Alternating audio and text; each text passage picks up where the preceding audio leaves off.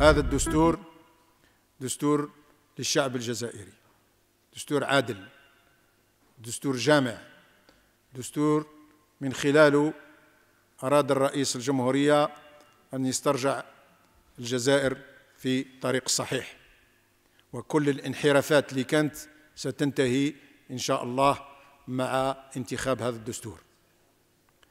هذا الدستور هو كذلك للشباب. لازم الشباب يأخذ المسؤولية نتاعو. شباب لازم يعرف بأنه له دور ومكانة خاصة في هذا الدستور.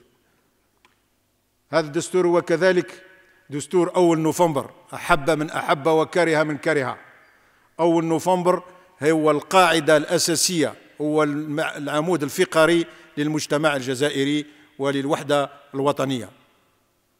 كذلك لا ننسى المحطة محطة 22 للحراك الأصيل.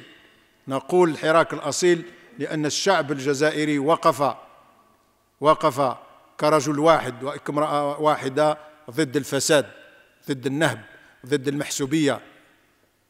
فلذلك هذه المحطتين محطتين أساسيتين في بناء الجزائر الجديدة.